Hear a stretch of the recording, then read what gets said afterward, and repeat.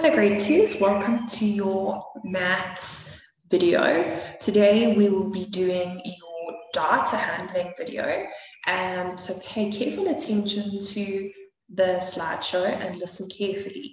Today you don't need any piece of paper or anything. I want you to just think about what some of your favorite toys could be. Um, so I'm going to share my screen for you. Okay, so we are doing data handling and for some of you who don't know me, I am Miss Vieira. I am the new teacher in grade two this year. So if we look at the slide over here, we can see it says favorite toys pictogram. So what we're going to do is we're going to look at some of the favorite toys and then we're going to see how many there are um, and we're going to compare them. So the first one is a doll. So we've got one, two, three. So there would be three people in the class that like to that their favorite toy is a doll. Wait, there might be one more. Yes, there, sorry, so there's four. So you can see one, two, three, four. There would be four people in the class whose favorite toy is a doll. If we have a look at the teddy bears, I wonder how many people like the teddy bear as their favorite. I quite like teddy bears. I don't know about you, but they're nice at night when you're in bed and then you can hold your teddy bears to make you keep you warm. So there are three teddy bears. So three people in the class have their favorite toy as a teddy bear. There may be people who like sport, their favorite toy is a ball. Or if you're at the beach, maybe your favorite toy is the ball. So there's one, two, just make them a bit smaller so you can see, or so that they fit. Three, four, it looks like lots of people like the ball. Five, six,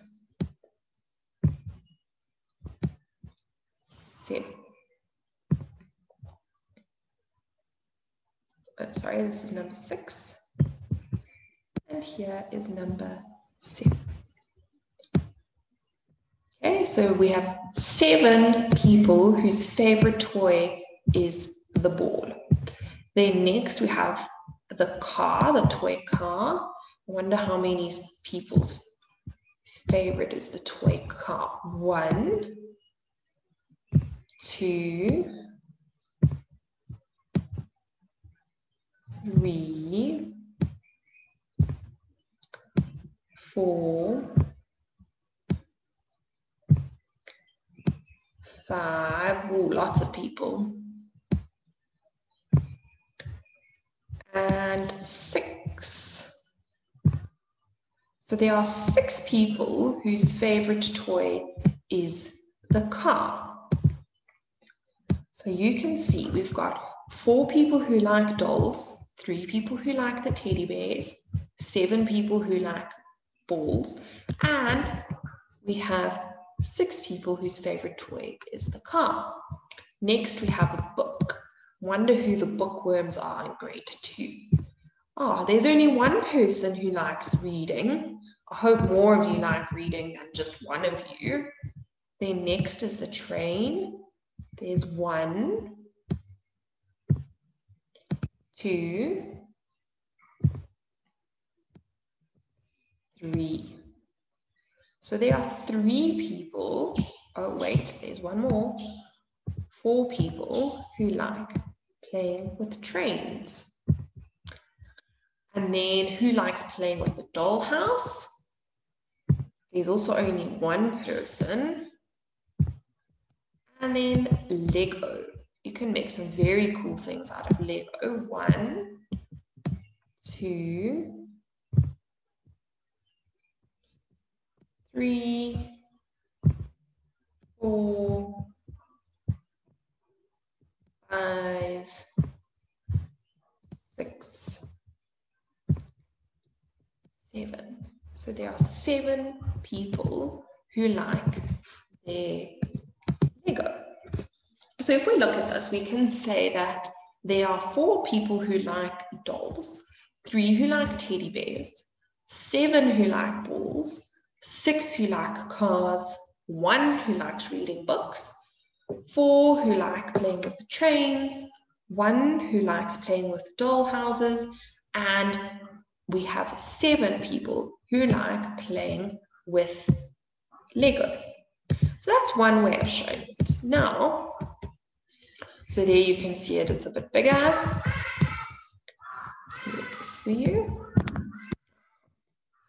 And if we look at it like this, we can see that this is a different way of showing the number of people who like or the favorite toys of the people. So we've got a picture of the doll at the bottom over here. Then we've got a teddy bear, a ball, a car, a book, train, house, and Lego. And you can see that I have done different colors for each graph. So for number two, we had, well, for the dolls, we had four people who liked the dolls. So all of these ones should be in pink. So if I said to you, you need to make sure that it looks correct because not all of them are right, you would then have to color in two extra blocks because there would be four people who like dolls. Then you would color in an extra block for the teddy bears. I see what's happened here. My pictures have moved. Then you would color in three for the teddies. We have seven for the balls, six for the cars, one for the book, four for the train, one for the house, and seven for the Lego. So this is what we call a bar graph. And at the bottom, we've got the different toys, and at the side is the number of people who like that toy. I would like you to go and think of some of your favorite things and your favorite toys. And when we get back to school, hopefully we can do this in class and you can tell me which one is your favorite toy. Enjoy the rest of your day. Have a fabulous week.